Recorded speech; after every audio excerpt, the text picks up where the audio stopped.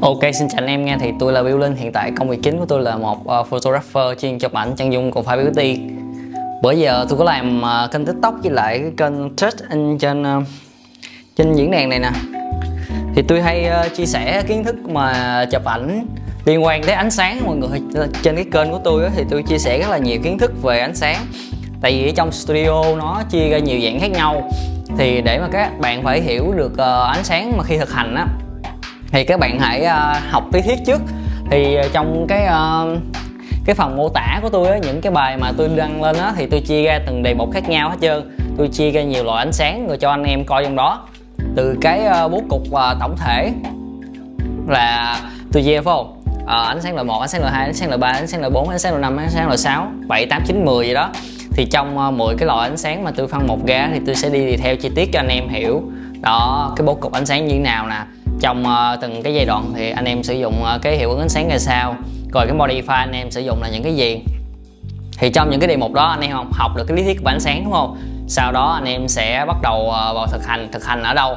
Khi mà anh em chưa có đèn chưa có studio thì anh em sẽ thực hành trên uh, cái uh, ứng dụng à, set đèn là lighting á mà 3D á thì anh em sẽ mô phỏng được cái lượng ánh sáng này sẽ như thế nào.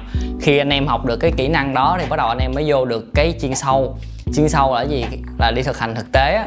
Thực hành thực tế thì bây giờ có rất là nhiều cái studio để cho anh em uh, thuê rồi.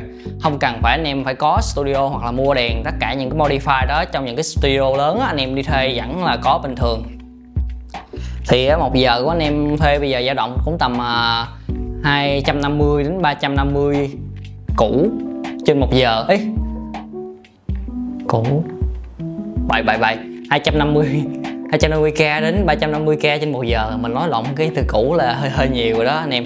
Đó thì uh, anh em vào thực hành trong đó sẽ có những cái đội ngũ ekip họ sẽ support cho anh em luôn. Anh em không cần phải uh, suy nghĩ nhiều. Uh, khi mà anh em đến đó anh em nói uh, tôi cần muốn set cái uh, lighting giống như thế này nè.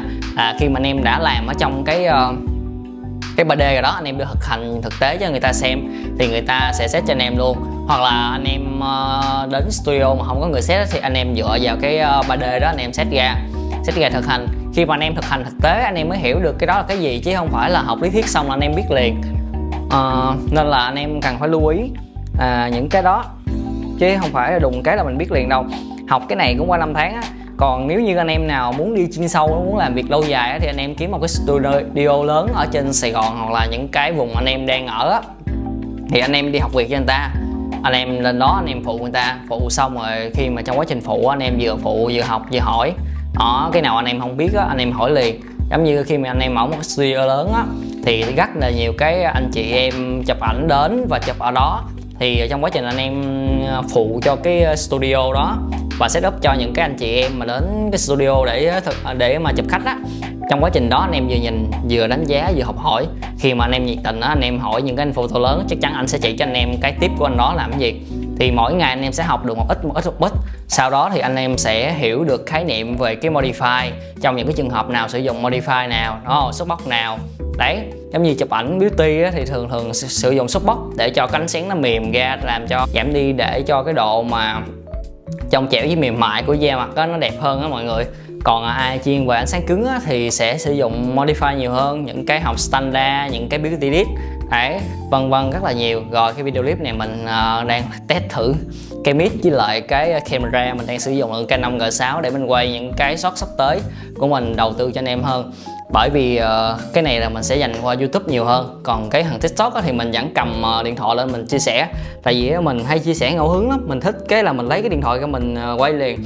Nên là đa phần uh, những cái video của mình uh, nó ít tiếp cận là tại vì sao? Tại vì mình chia sẻ những cái giá trị nào thực tế thôi. Anh em nào cần thì khi mà vô đó thì anh em sẽ học được. Còn không phải là học gì hết, nhưng mà anh em sẽ biết được cái tiếp anh em cần là cái gì. Còn những anh em nào đã biết rồi thì cũng không cần nhất thiết phải xem của mình. Ok, cảm ơn anh em đã xem tới giờ phút này nha. Rồi.